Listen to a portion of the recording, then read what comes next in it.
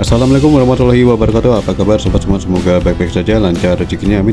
Oke teman-teman kali ini dapat servisan dari user dan ini Nokia 6630 dan kerusakannya ada pada di layar bergaris ya di atasnya.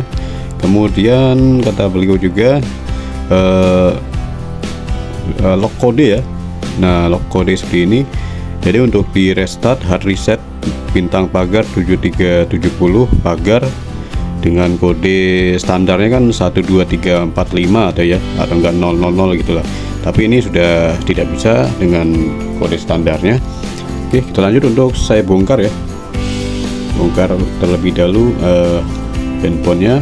Kemudian saya akan coba cek di terutama di LCD ya.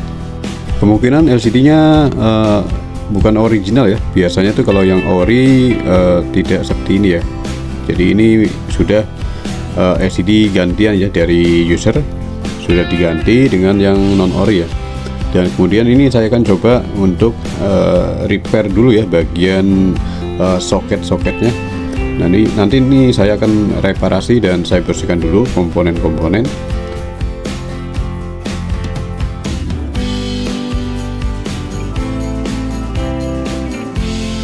Oke, nah ini penampakan juga seperti ini ya, sudah berdebu dan tebal sekali ya. Untuk korosi juga di bagian bawah antara pin baterai dan pop portnya ya, dia korosi dan banyak tebal debunya ya. Saya bersihkan dengan thinner dan saya kuas dengan kuas sintetis, kuas halus ya. Oke, uh, ini lanjut saya akan coba untuk bersihkan dari soketnya soket di papan mesin soket fleksibel LCD ya Nah di sini sudah saya zoom dengan mikroskop. Nah ini soket dari LCD 6630 ya. Nah seperti ini sudah berkarat ya pin-pinnya. Pin dari pinggiran itu sudah berkarat dan uh, korosi ya. Terkena kelembapan uh, kelembapan ya. Biasanya lama dipakai dia lembab sendiri saya gunakan blok terlebih dahulu ya untuk disolder uh, saya solder ulang ya.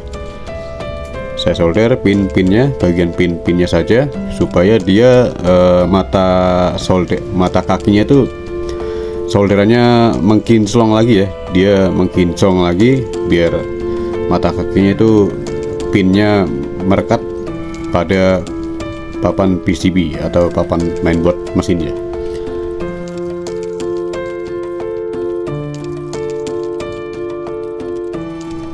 Oke saya bersihkan dengan thinner kemudian saya pastikan sudah agak mengkinclong lagi ya. Nah seperti ini.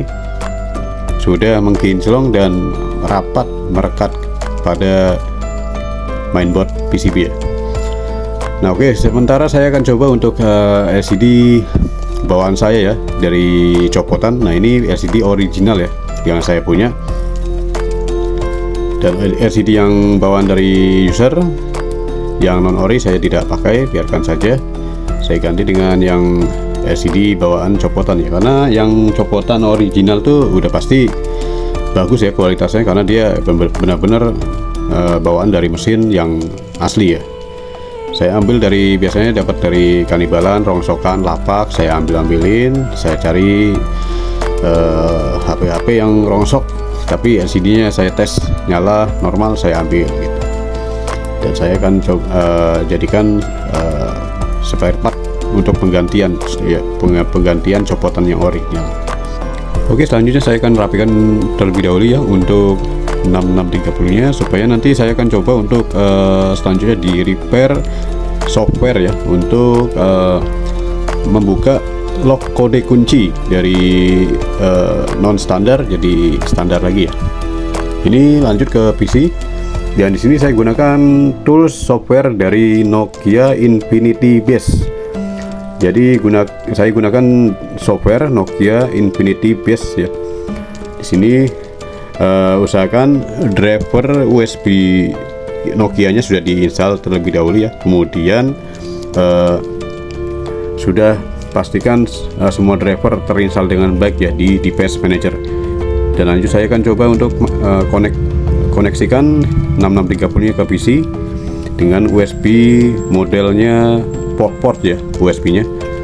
Kabel data USB model port port. Nah, sini sudah terdeteksi ya 6630-nya dengan mode Nokia 6630 USB OBEX.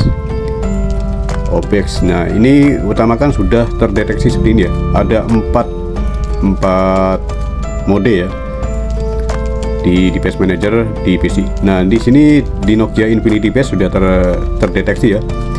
Lanjut kita selanjutnya di read info. Di read info ini sudah otomatis softwarenya itu membaca semua ya di Nokia 6630 nya dan terbaca firmware-nya juga ya ya firmware dari 6630 dan di sini ada terbaca juga untuk log kodenya ya. Log kodenya itu dia ada di bagian bawah. Nah ini log kode kenanya di 888 ya. Jadi sudah diganti sama pemakai dengan kode 888 dan saya masukkan 888 ternyata down ya sukses. Dan hard reset bintang pagar 7370 berjalan dengan lancar. Dan prosesnya tinggal ditunggu sampai dia booting kembali ya. Nah seperti ini muncul logo Nokia. Kita tunggu sampai dia muncul ke pengaturan awal. Dan di pengaturan awal itu ada uh, pemilihan untuk uh, bahasa dan uh, negara ya Oke, dan pengaturan waktu. Setting waktu dulu. Kemudian nanti setelah di setting waktu uh, jam lanjut saya akan ini ya uh, coba untuk masuk pengaturan. Dan di pengaturan di lock kodenya karena di software sudah terdeteksi ya. 8888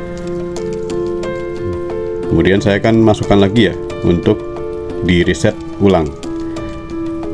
Nah ini di sini lock kodenya saya masukkan 888 dulu kemudian saya ganti dengan uh, standarnya lagi ya. Dengan uh, 1 2 3 4 5 ya. 1 2 3 4 5 standarnya ya. Oke sudah masuk kode standarnya dan saya coba untuk ulang kembali dengan kode standar. Ternyata sukses ya berjalan dengan lancar. Oke terima kasih atas partisipasinya. Semoga video ini bermanfaat dan mohon maaf jika ada salah kata dan kekurangannya dan assalamualaikum warahmatullahi wabarakatuh